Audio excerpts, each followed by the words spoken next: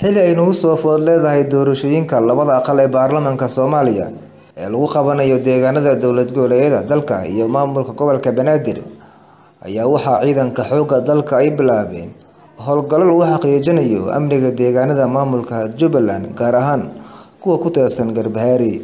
saraakiisha militariga soomaaliya ee ka howlgala deegaanada dowlad goboleedka jubbaland gaar ahaan kuwa gobolka gadow ayaa sheegay in howlgalku uu yahay mid lagu xaqiijinayo amniga deegaanada gobolka gadow abaanduulyaha ciidanka xoogga dalka gaar ahaan ururka tobanaad qeybta saddex iyo afartanaad ayaa sheegay in howlgalku uu yahay mid markaasba loogu gol leeyahay in lagu xaqiijiyo amniga doorashooyinka dalka gaar ahaan magaalada garbahaari ee gobolka gadow u diyaar garoobaan oo aan u diyaarin. Hadduu ilaah yidhaahda sidaasaan yaan u samaynaynay waxaa la yidhaahdaa dib u cusboonaysiin saa ogtahayba nimankan ummadda soomaaliyeed cadowga ku ah waa niman iska burcad ah xaqiiq ahaan duurka iska joogaan shacabkoon bay dhibaateeyaan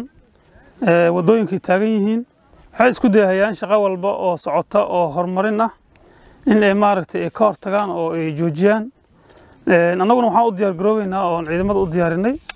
in ay maaragtay ka hortagaan caqabad kasta iyo culays kasta oo ay ku soo wajahayaan ummadda soomaaliyeed gaar ahaan halkaa waa meeshii ay doorashada ka dhacaysay saa u sheegtayba oo ka mid kahayd baraha doorashada ee ka dhacaysa dalka soomaaliya. Annaguna waxaan u sii diyaar garoobeynaa marka in aysan wax carqalada aysan gelinin shaqooyinka halkaas ka socon doono iyo in guud ahaan shaqadii hore oo ciidanka u hayay aan sii laba laabna. Waxaana rajaynaynaa in ujeeddada aan leenahay gaari doonno oo dhammaan ummadda soomaaliyeedna ay gaari doonto. Ayaguna maadaama ay awalba ay ahaayeen. Bulshada waxaan leeyahay waxa laga shaqeynaya waxaa weeyaan oo ciidamada u taagan yihiin waa idinka maarka horumarkiina iyo sharafkiina iyo jiritaanka dhammaan ummadda soomaaliyeed iyo inaad nolol wanaagsan ku noolaataan inaad fahantaan baa laga maarmaana marka taas ayadoo aan u mahad celinaya ummadda soomaaliyeed guud ahaanteeda gaar ahaan magaalada haddaan ku sugnahay shacabka ku nool shacab aad u wanaagsan ay yihiin iyo gobolka gadoo dhanba haddana waxaan leeyahay in waxaa loo baahan yahay aad sii laba laabtaan rabitaanka dowladnimada iyo jiritaanka ummadda soomaaliyeed inaad sii laba laabtaan sidii la isaga kaashan lahaa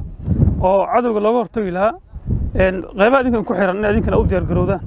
oo adinka mustaqbalkiinana aad ka fakertaan wax laga shaqeynaya u fahantaan inay tahay wax idinka danihiina ah oo dowladda ay ka shaqeynaysa iyo ciidamada qaranka guud ahaantooda wax ay ka shaqeynayaan